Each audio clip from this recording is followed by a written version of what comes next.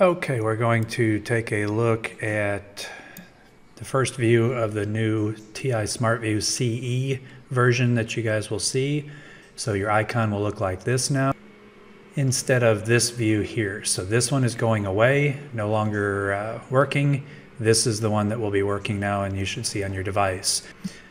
So when you first click on the new version, this is what comes up. You can click OK and you'll notice that it doesn't look exactly like the calculator uh, that you're using because this is the CI or the CE version. But you can go to View, Emulator Model, and you can do the TI-84 Plus, and it'll change that over and look like the silver version. You also can just click right here and switch between those options.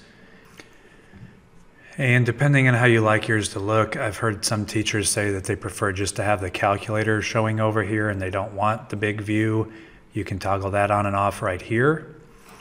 Um, notice when you have the large view over here, it does not show over here by the calculator. If you turn that off, because you don't want this, you just want it to be on the calculator, you can just toggle that by switching or clicking on this button right here. And it will put that screen over here for you. Then if you didn't like the key press history, you can turn that off under view and hide key press history. And you now have just a working calculator that you can resize.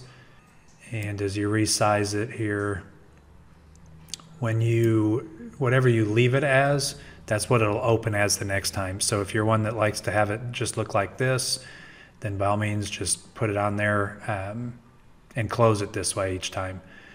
If you want to have the bigger screen, again, it's just toggling that right there.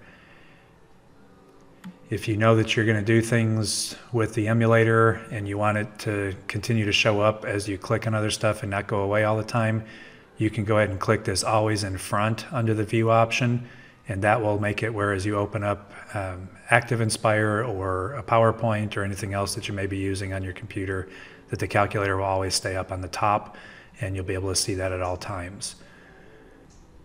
Once you have your screen minimized, if you want to or need to make the calculator bigger uh, without having a bunch of extra space over here, then you can always just grab in the corner and drag it out. And as you do that, you can see you can get a bigger calculator or a smaller one. So I hope that helps you uh, get your calculator set up.